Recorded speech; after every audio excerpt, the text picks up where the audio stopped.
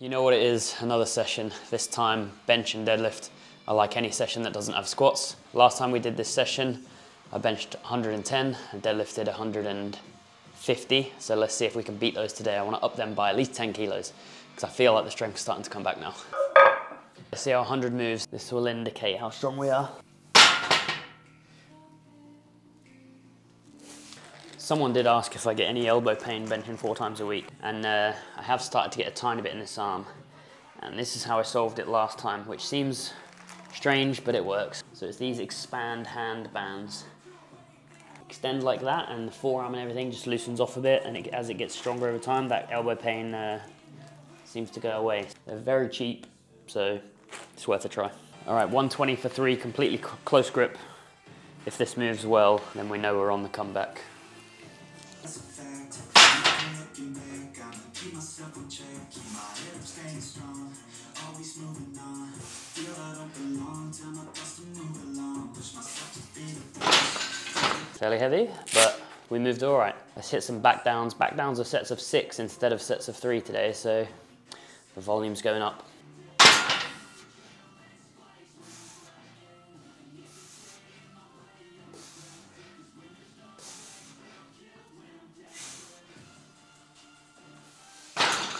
Bench done, feeling good. We're gonna hit up the new cable machine, another excuse to use it, and do some flies.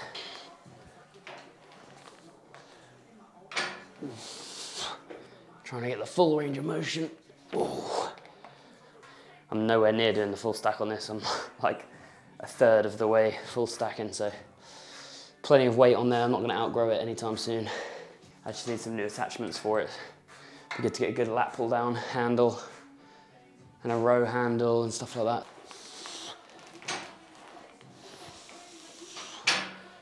Oh. Okay, on to pause deadlifts. Short session today because I'm a busy man. Always takes my hips a little while to warm up in sumo. Couple of sets.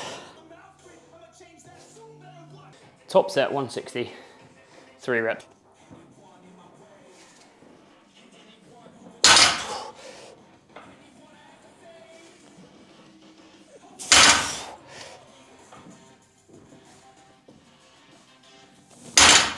Two sets of three, 130 kilos. Should be easy.